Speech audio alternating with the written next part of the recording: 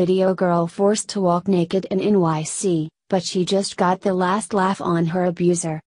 A shocking video went viral last year after a purported cheating girlfriend was forced to walk around the streets of New York City naked as punishment.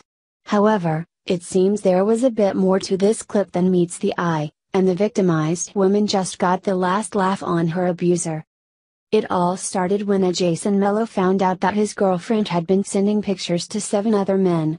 Wanting to do something about it, he forced the woman out of his house while she was wearing just a towel. Unfortunately, things would only get worse from there as the man would eventually expose his true intentions, and they were downright humiliating. Take off your towel, he could be heard saying in the two minute video. Cooperate BH. Show what you are, so pretty and so great. She's a tart. Let's go. Let's go. Say hi to the camera and say why you're doing this. At that point, viewers watch in shock as the man then grabbed the woman's towel and stripped it from her body. Still recording, he left the woman completely naked in the streets of New York City and even ensured that she couldn't get the towel back in order to cover up. Of course, no one is really fond of cheaters, meaning that not too many people felt bad for her, but it seems that this video may have gone viral for all the wrong reasons.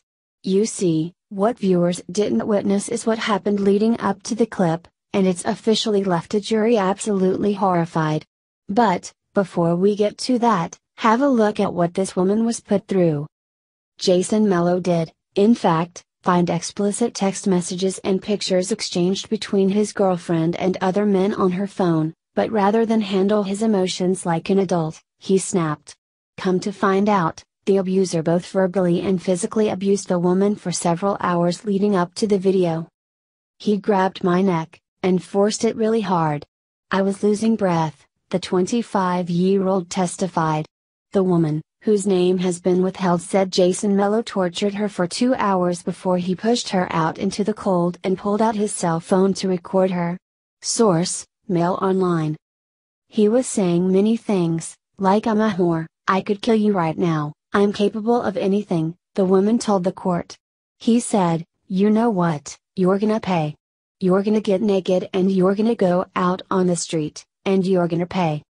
Too bad for Mello, it seems that he was in for a bit more than he bargained after his revenge went viral.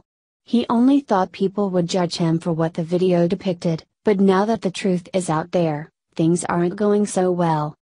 Mello, 26, has been charged with coercion, assault, aggravated harassment, menacing, criminal obstruction of breathing and endangering the welfare of a child and is facing up to seven years in jail if convicted, the Daily Mail reported.